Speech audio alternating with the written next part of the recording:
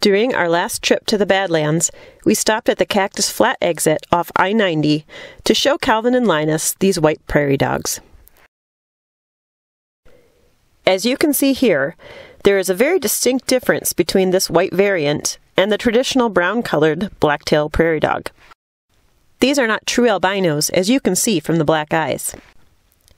Rather, they are what is called leucistic, meaning that they genetically lack skin pigment, but not melanin as albinos do. While this prairie dog is sniffing the air, notice that it lies flat bellied against the ground. For the traditional colored prairie dogs, this is an ideal survival instinct to help them blend in with their surroundings. But as you can see, camouflage for the leucistic prairie dogs is lacking in most seasons except winter. Notice the tail flicking as a subtle alarm to the others who are sunning themselves nearby.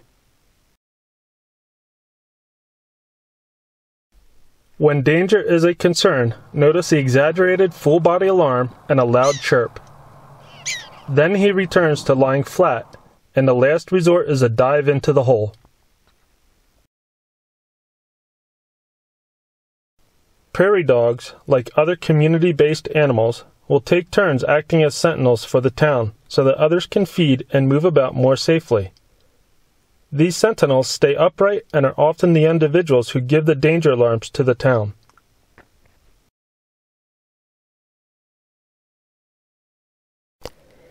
As we sat enjoying the daily routine of these fuzzy snowballs, we were perplexed that they have been able to maintain a colony spread across almost three miles and not become easy prey for hawks, coyotes, and so many other carnivores.